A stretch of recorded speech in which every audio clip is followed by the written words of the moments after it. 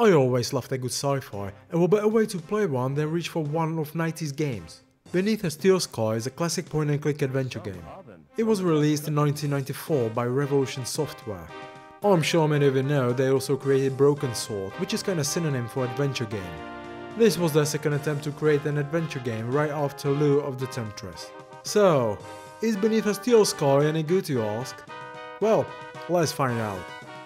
Ever since it came out I wanted to play the bloody game. Apparently it took ages to get to it, and I'm kinda glad it took so long for a couple of reasons. First, the lack of good adventure games in recent years, and second is music, which I'll get to in a moment. It's been released for DOS, Amiga and remastered a couple of years ago for iOS. I haven't played remastered or Amiga version, so I'll stick with DOS for this review. Since I've got DOS version, let's start with the installation. Installation is pretty straightforward. Insert CD, run install, choose the path you want the game to be installed in, and select sound card. So far so good. However, there are a couple of problems. One problem is the lack of any kind of setup program, so if you need to change the sound card for any reason, you need to reinstall the game. Another thing they failed to do or just couldn't be bothered to do is wider selection of sound cards. Not only that, the only wavetable sound card it supports is Roland MT32. No general MIDI, MPU 401, Gravis ultrasound, nothing. But I'm not finished yet. If you own MT32 you get nice wavetable synth, but you don't get PCM sound and voiceover. Sounds are generated by MT32's instruments, which sounds horrible. If you want sounds and voiceover, you need to select Sound Blaster, but you won't get wavetable music. Really smart revolution.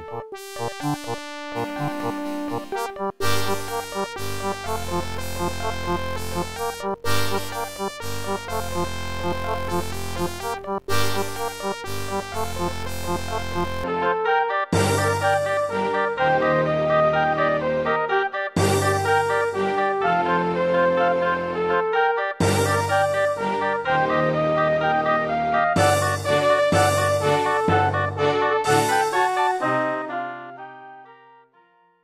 is sort of workaround to get both sound and wavetable music though.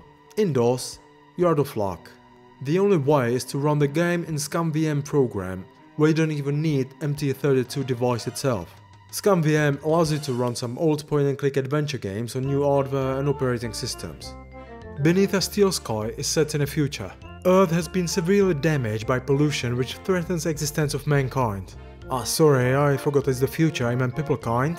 Most of the setup is explained in the hand-drawn comic book intro, which in my opinion always looks better than today's renders. Intro does also a cracking job of setting up the main character, Robert Foster. He's a sole survivor of a helicopter crash somewhere in the wilderness when he was a little boy, and the people who found him sort of adopted him as a son, hence the name Foster, as he's been fostered. They taught him how to survive in the wilderness, and he developed some other skills too. After many years, some soldiers from a nearby city called Union City came searching for him. They introduced themselves by opening fire on the village. Robert hid himself, but after soldiers threatened everybody to wipe out the village, he gave up and let them take him in exchange for safety of his tribe. But, as he usually is, they had to die anyway, obviously.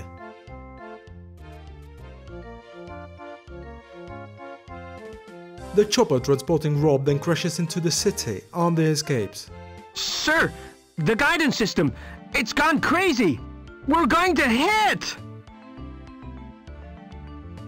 Maybe I'd get some answers now. If I survived another copter crash.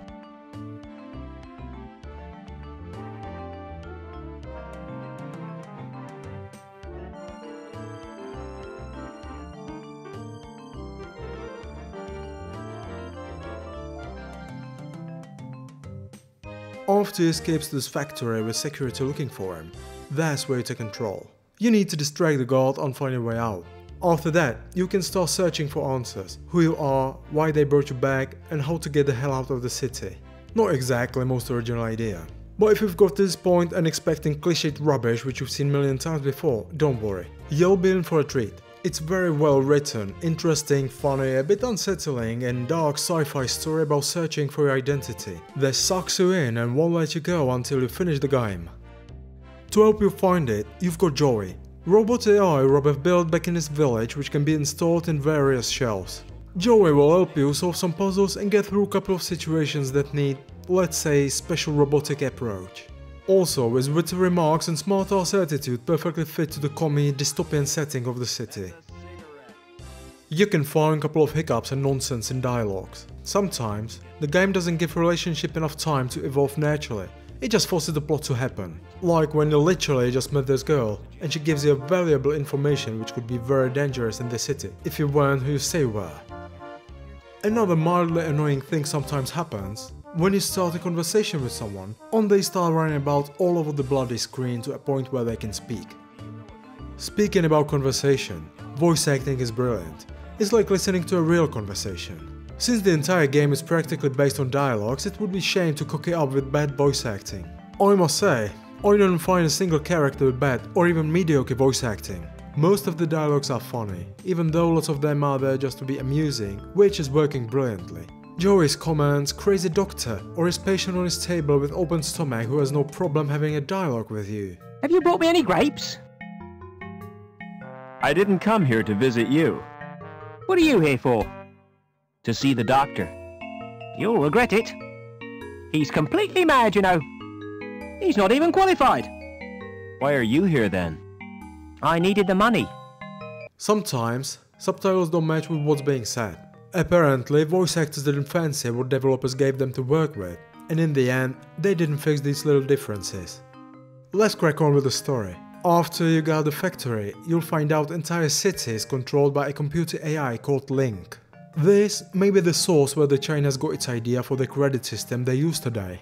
It works almost the same. LINC is everywhere, and everything and everyone depends on it. But, as it turns out, LINC is not what it seems at first. Aren't you begin to realize something is very wrong with the city and you need to find out what? Since the LINC is a computer AI, you'll make use of your hacking skills in LINC Space. And since the game is from 90s, hacking has to be done in 3D of course.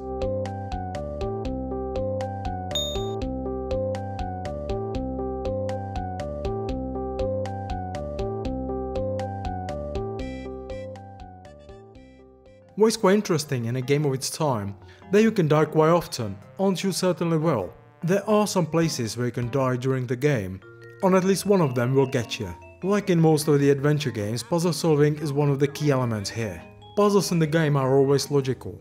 Sometimes you'll get a hint during conversation, so if you pay attention and listen to everything people have to say, you'll never get stuck. And if you do, there are no hints in the game, as it became standard in today's games, to make it easier and let's face it, less fun. Considering the game is pretty old and the graphics is in low resolution, it looks sick. The game itself is not too long, about 4 hours of gameplay, so there are not too many backgrounds, but they are beautifully hand-drawn, some even animated, and perfectly drawn characters, all of them animated. You'd be surprised how much detail they squeezed out of such a low resolution. Every screen is an artwork. Every part of the canvas has been painted to show you how the world may look like in the future, and unfortunately, they've been right about some things. We are not there yet, but it's certainly getting there. Music is average. Some parts are better, some parts are worse. Music fits to the environment, but don't expect anything stellar. Almost every location has its own track, and if you want to listen to the soundtrack, link is in the description. We're way up in the clouds, Joey. We need to find a way to the ground.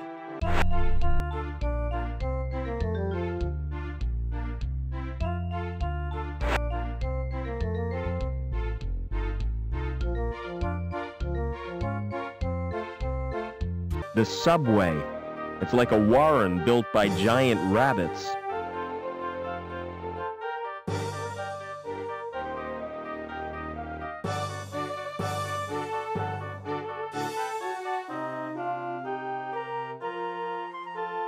As I said before, to get good music out of the game, you either need Roland MT32 or an emulator. ScummVM can emulate MT32 using current sound card or sound module, and sounds are working as well. It's much better than listening to FM synthesis, which is bloody horrible.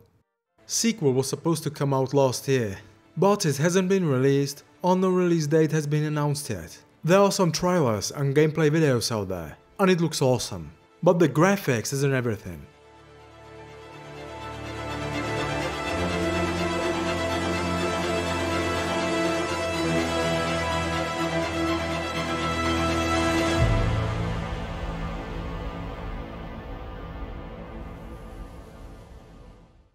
What's the verdict then? Beneath a Steel Sky's got a brilliant story, almost perfect voice acting and dialogues, gorgeous graphics for its time, and unfortunately not too memorable music. Does it have some flaws? Sure, what game doesn't? Should you care? Absolutely not. If you love adventure games, I recommend you give Beneath a Steel Sky a go. You'll have tons of fun playing the game. It's one of the best ever made. That's it for the vid, catch you next time.